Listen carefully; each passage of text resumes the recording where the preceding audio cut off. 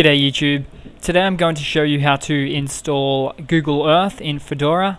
Now unfortunately it's not in the Fedora repository so you do have to go online for this one. So open up a browser and type in google.com forward slash earth.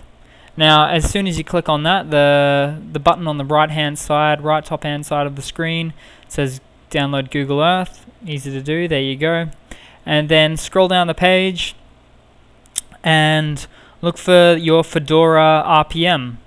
Now RPM of course is just the uh, the package type and you'll either be a 32-bit or a 64-bit package. You'll probably know which one you are being if you've uh, when you've installed Fedora. But if you don't, uh, probably recommended the best is to go 32. Now click agree and download and then uh, a little prompt will come up, a window saying to save it and or install it and just click on OK automatically and it will uh, open up with the software installer. So that will be good.